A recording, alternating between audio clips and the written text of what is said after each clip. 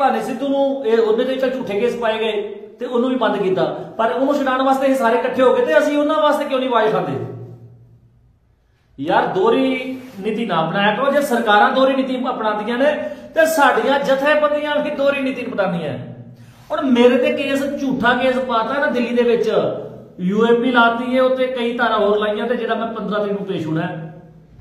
ਭਾਨੇ ਸਿੱਧੂ ਦੇ ਹੱਕ ਵਿੱਚ ਜੋ ਰੈਲੀਆਂ ਹੋਈਆਂ ਰੋਸ ਮਾਰਚ ਹੋਏ। ਇਹ ਸਮਝ ਜ਼ਰੂਰ ਆਉਂਦਾ ਹੈ ਕਿ ਨੌਜਵਾਨ ਜਿਹੜੀ ਆ, ਉਹ ਕਿਸੇ ਵੀ ਧੱਕੇ ਦੇ ਖਿਲਾਫ ਜੋ ਸਰਕਾਰ ਧੱਕਾ ਕਰਦੀ ਆ, ਉਹਦੇ ਖਿਲਾਫ ਜਾਣ ਲਈ ਕਿਸੇ ਹੱਦ ਤੱਕ ਜਾ ਸਕਦੇ ਆ।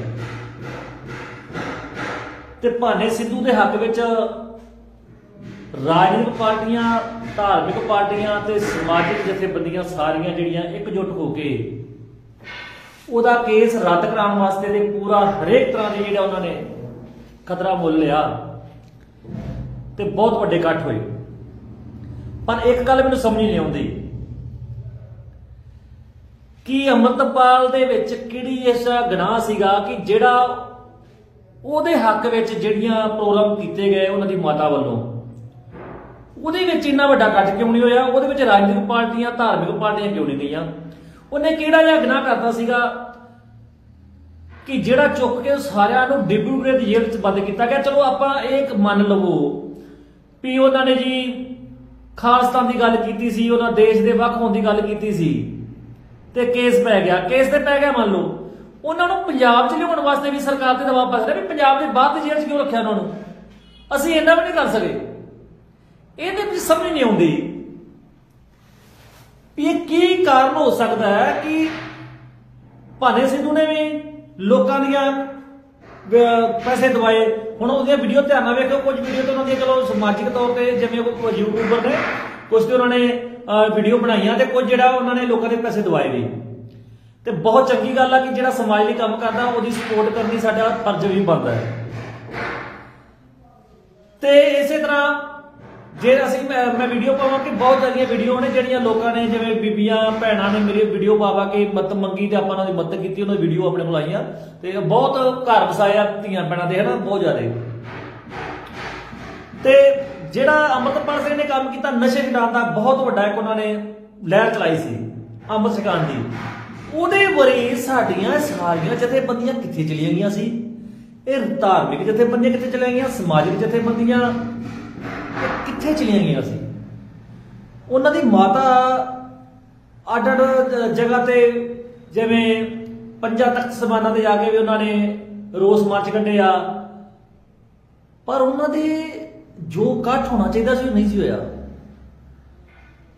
ਇਹ ਸਮਝ ਤੋਂ ਬਾਹਰ ਆ ਕਿ ਇਹ ਸਰਕਾਰਾਂ ਹੀ ਕੁਝ ਬੰਦਿਆਂ ਨੂੰ ਖਤਮ ਕਰਨਾ ਦੇ ਚਾਹੁੰਦੀਆਂ ਉਹਨਾਂ ਦਾ ਅ, ਬੰਦ ਕਰਨਾ ਚਾਹੁੰਦੀਆਂ ਜਾਂ ਕਿਸੇ ਕਿਸੇ ਕਈਆਂ ਨੂੰ ਸਪੋਰਟ ਕਰਨ ਵਿੱਚ ਮਦਦ ਕਰ ਦਿੰਦੀਆਂ। ਇਹ ਸਮਝ ਤੋਂ ਬਾਹਰ ਗੱਲ ਆ। ਮੈਂ ਇਹ ਗੱਲ ਦੀ ਸ਼ਾਬਾਸ਼ ਦੇਣਾ ਸਾਰਿਆਂ ਨੂੰ ਵੀ ਬਹੁਤ ਨੌਜਵਾਨ ਜਿਹੜੇ ਆ, ਭਾਨੇ ਸਿੱਧੂ ਦੀ ਸਪੋਰਟ ਕਰਨਗੇ ਆ, ਬਹੁਤ ਚੰਗੀ ਗੱਲ ਆ, ਕਰਨੀ ਚਾਹੀਦੀ ਆ। ਪਰ ਸਾਨੂੰ ਕਾਣੀ ਵੰਡ ਕਰਨੀ ਜਾਂ ਜਿਹੜਾ ਇੱਕ ਬੰਦਾ ਪੂਰਨ ਆਜ਼ਾਦੀ ਦੀ ਗੱਲ ਕਰਦਾ, ਉਹਦੀ ਸਪੋਰਟ ਕਰਨ ਲੱਗੇ ਅਸੀਂ ਕਿਉਂ ਘਰਾਂ 'ਚ ਵੜ ਗਏ? ਉਹ ਜਥੇਬੰਦੀਆਂ ਜਿਹੜੀਆਂ ਖਾਲਸਤਾਨ ਦੀ ਗੱਲ ਕਰਦੀਆਂ, ਉਹ ਜਥੇਬੰਦੀਆਂ ਨੇ ਵੀ ਸਾਥ ਨਹੀਂ ਦਿੱਤਾ। ਇਹ ਗੱਲ ਬਹੁਤ ਸੋਚਣ ਵਾਲੀ ਆ। ਸੋ ਮੈਂ ਇਹ ਬੇਨਤੀ ਜ਼ਰੂਰ ਕਰਾਂਗਾ ਕਿ ਜੇ ਤੁਸੀਂ ਭਾਨੇ ਸਿੱਧੂ ਦੇ ਕੇਸ ਜਿਹੜੇ ਹੋਏ ਆ, ਰੱਦ ਕਰਾ ਸਕਦੇ ਹੋ। ਸਾਰੇ ਇਕੱਠੇ ਹੋ ਕੇ ਤੇ ਕਿਉਂ ਨਾ ਅੰਮ੍ਰਿਤਪਾਲ ਸਿੰਘ ਤੇ ਉਹਨਾਂ ਦੇ ਸਾਥੀਆਂ ਨੂੰ ਆਪਾਂ ਪੰਜਾਬ ਦੀਆਂ ਜੇਲ੍ਹਾਂ ਵਿੱਚ ਤਬਦੀਲ ਕਰਾ ਲਈਏ, ਕੇਸ ਰੱਦ ਕਰਾਉਣ ਦੇ ਦੂਰ ਦੀ ਗੱਲ ਆ। ਆਪਾਂ ਸਰਕਾਰ ਤੇ ਇਹਦਾ ਦਬਾਅ ਬਣਾ ਕੇ ਕਿ ਉਹਨਾਂ ਨੂੰ ਪੰਜਾਬ ਦੀਆਂ ਜੇਲ੍ਹਾਂ 'ਚ ਲਿਆਓ। ਉਹਨਾਂ ਦੀਆਂ ਮੁਲਾਕਾਤਾਂ ਕਰਨੀਆਂ ਬੜੀਆਂ ਔਖੀਆਂ, ਪਰਿਵਾਰਾਂ ਨੂੰ ਦੂਰ ਜਾਣਾ ਬੜਾ ਔਖਾ ਹੈ।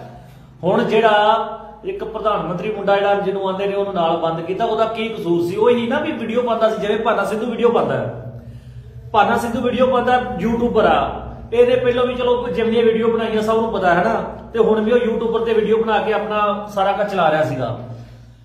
ਤੇ ਜਿਹੜਾ ਪ੍ਰਧਾਨ ਮੰਤਰੀ ਬਾਜੇ ਗਿਆ, ਉਹ ਵੀ ਯੂਟਿਊਬਰ ਸੀ, ਉਹ ਵੀ ਵੀਡੀਓ ਬਣਾਉਂਦਾ ਸੀਗਾ ਤੇ ਵੀਡੀਓ ਬਣਾ ਕੇ ਜਿਵੇਂ ਜੋ ਮਰਜ਼ੀ ਬੋਲਦਾ ਸੀਗਾ ਤੇ ਉਹਦਾ ਵੀਡੀਓ ਵੀ ਉਹ ਤੋਂ ਕੰਮ ਚੱਲਦਾ ਸੀਗਾ। ਇਹ ਵੀ ਵੀ ਆਪਣਾ ਕ- ਕ- ਕੰਮ ਚਲਾ ਰਿਹਾ ਸੀਗਾ, ਭਾਨਾ ਸਿੱਧੂ ਵੀ YouTube ਤੇ ਵੀਡੀਓ ਬਣਾ ਕੇ ਤੇ ਬਾਜੇਖਾਨਾ ਵੀ।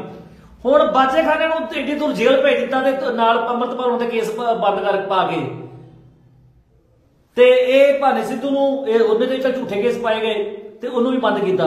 ਪਰ ਉਹਨੂੰ ਛਡਾਉਣ ਵਾਸਤੇ ਇਹ ਸਾਰੇ ਇਕੱਠੇ ਹੋ ਗਏ ਤੇ ਅਸੀਂ ਉਹਨਾਂ ਵਾਸਤੇ ਕਿਉਂ ਨਹੀਂ ਆਵਾਜ਼ ਖਾਂਦੇ ਯਾਰ ਦੋਹਰੀ ਨੀਤੀ ਨਾ ਬਣਾਇਆ ਕਰੋ, ਜੇ ਸਰਕਾਰਾਂ ਦੋਹਰੀ ਨੀਤੀ ਅਪਣਾਉਂਦੀਆਂ ਨੇ, ਤੇ ਸਾਡੀਆਂ ਜਥੇਬੰਦੀਆਂ ਵੀ ਦੋਹਰੀ ਨੀਤੀ ਅਪਣਾਉਂਦੀਆਂ ਹੁਣ ਮੇਰੇ ਤੇ ਕੇਸ, ਝੂਠਾ ਕੇਸ ਪਾਤਾ ਨਾ ਦਿੱਲੀ ਦੇ ਵਿੱਚ ਯੂਐਮਪੀ ਲਾਤੀ ਹੈ ਉੱਤੇ ਕਈ ਧਾਰਾ ਹੋਰ ਲਾਈਆਂ ਤੇ ਜਿਹੜਾ ਮੈਂ 15 ਤਰੀਕ ਨੂੰ ਪੇਸ਼ ਹੋਣਾ। ਟਾਈਮ ਲਿਆ ਉਹਨਾਂ ਨੂੰ, ਬੇਨਤੀ ਕੀਤੀ ਸੀ ਵੀ ਮੈਂ ਇੰਨੇ ਪਹਿਲੋਂ ਨਹੀਂ ਆ ਸਕਦਾ, ਸਾਡੇ ਘਰ ਵਿਆਹ ਹੈ। ਉਹ ਜੋ ਕਿ ਝੂਠਾ ਕਿਸਮੇ ਤੇ ਪਾਇਆ ਗਿਆ 25 ਤਰੀਕ ਨੂੰ ਪਾਇਆ ਗਿਆ 25 1 2024 ਨੂੰ, ਕਿਉਂਕਿ ਉਹ ਸਮਾਣੇ ਸੀ ਜਿਹੜਾ ਧਰਨਾ ਲਾਣਾ ਸੀ ਉਹ ਉਧਰ ਹੀ ਤੇ ਪਾਇਆ ਗਿਆ। ਇਸ ਤਰ੍ਹਾਂ ਹੋਰ ਵੀ ਕੇਸ ਝੂਠੇ ਪਾਉਂਦੇ ਆ।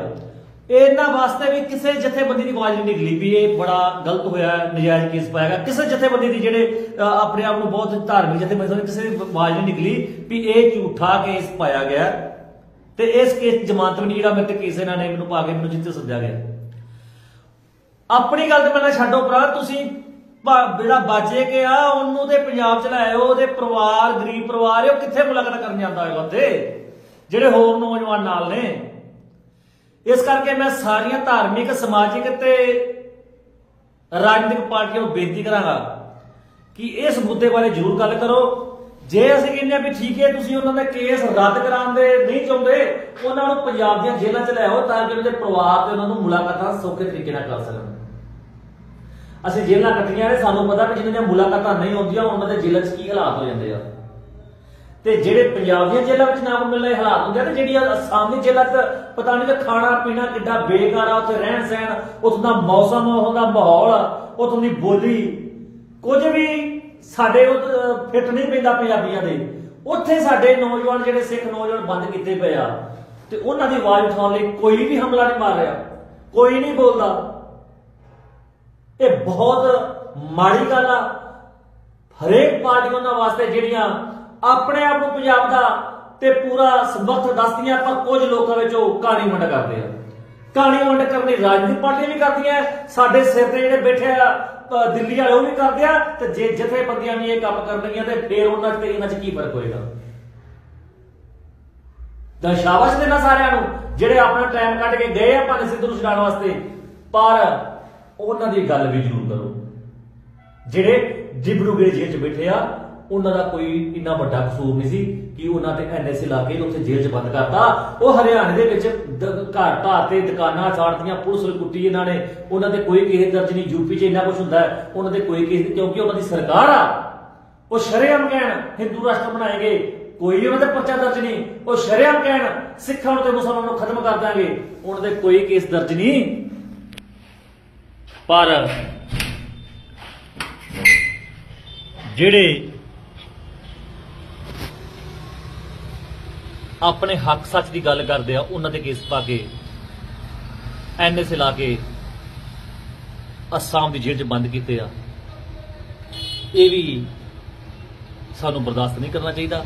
ਸੋ ਮੈਂ ਬੇਨਤੀ ਕਰਦਾ ਸਾਡੀਆਂ ਜਿੰਨੀਆਂ ਜਥੇਬੰਦੀਆਂ ਨੇ ਧਾਰਮਿਕ ਰਾਜਨੀਤਿਕ, ਉਹਨਾਂ ਨੂੰ ਵੀ ਇਸ ਗੱਲ ਦੀ ਆਵਾਜ਼ ਉਠਾਉਣੀ ਚਾਹੀਦੀ ਆ। ਆਪਾਂ ਇਕਮੁੱਠ ਹੋ ਕੇ ਉਹਨਾਂ ਨੂੰ ਪੰਜਾਬ ਦੀ ਜ਼ਿਲ੍ਹਾ ਤਬਦੀਲ ਕਰਨ ਵਾਸਤੇ ਤੇ ਸਰਕਾਰ ਤੇ ਇਹ ਜਿਹਾ ਦਬਾਅ ਕੋ ਬਣਾ ਸਕੀਏ ਤੇ ਜਿਹੜੀ ਸਰਕਾਰ ਜਿਹੜੀ ਆ, ਉਹ ਉਹਨਾਂ ਨੂੰ ਪੰਜਾਬ ਚ ਲਾਏ ਇਹ ਬੜੀਆਂ ਗੱਲਾਂ ਮਾਰਦੇ ਸੀਗੇ। ਇਹ ਆਮ ਆਦਮੀ ਪਾਰਟੀ ਵਾਲੇ ਜੋ ਇਹਨਾਂ ਤੋਂ ਵੇਖ ਹੀ ਲਿਆ, ਆਉਣ ਵਾਲਾ ਸਮਾਂ ਇਹਨਾਂ ਦਾ ਕਿਵੇਂ ਦਾ ਹੋਣਾ, ਸਭ ਨੂੰ ਪਤਾ ਲੱਗ ਗਿਆ ਵੀ ਆਉਣ ਵਾਲਾ ਸਮਾਂ ਇਹਨਾਂ ਦੀ ਇੱਕ ਸ- ਸੀਟ ਵੀ ਨਹੀਂ ਮਿਲਣੀ ਜਿਹੜੇ ਹਾਲਾਤ ਬਣਦੇ ਪਏ ਆ। ਕਿਉਂਕਿ ਲੋਕ ਬਹੁਤ ਸਮਝਦਾਰ ਨੇ। ਜੇ ਇਹਨਾਂ ਲੋਕਾਂ ਨੇ ਸਾਰਿਆਂ ਨੂੰ ਪੱਤੇ ਸਾਫ਼ ਕਰਕੇ ਤੇ ਇਹਨਾਂ ਦੇ ਬੰਨਵੇਂ ਲਿਆਂਦੇ ਹਨ ਤੇ ਇਹਨਾਂ ਦਾ ਆਉਣ ਵਾਲੇ ਸਮੇਂ 'ਚ ਇੱਕ ਵੀ ਨਹੀਂ ਆਉਣਾ। ਇਹੀ ਜਿਹੜੇ ਲੋਕ ਨੇ, ਜਿਹੜੇ ਹਵਾ ਵਾਂਗੂ ਚੱਲਦੇ ਆ, ਉਹ ਜਿੱਧਰ ਨੂੰ ਉਹਨਾਂ ਨੂੰ ਸਹੀ ਲੱਗਦਾ, ਇਨਸਾਫ ਦੇ ਉਦੋਂ ਚੱਲਦੇ ਆ।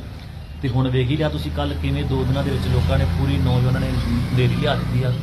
ਸੋ ਮੈਂ ਬੇਨਤੀ ਕਰਾਂਗਾ ਇਹ ਗੱਲ ਦੇ ਉੱਤੇ ਧਿਆਨ ਕੀਤਾ ਜਾਏ ਤੇ ਅਮਰਤਪਾਲ ਸਿੰਘ ਤੇ ਮੈਂ ਸਾਥੀਆਂ ਨੂੰ ਪੰਜਾਬ ਦੀਆਂ ਜੇਲ੍ਹਾਂ 'ਚ ਲਿਆਉਣ ਵਾਸਤੇ ਉਹਨਾਂ ਦੀ ਸਪੋਰਟ ਕੀਤੀ ਜਾਏ। ਵਾਹਿਗੁਰੂ ਜੀ ਕਾ ਖਾਲਸਾ, ਵਾਹਿਗੁਰੂ ਜੀ ਕੀ ਫਤਿਹ।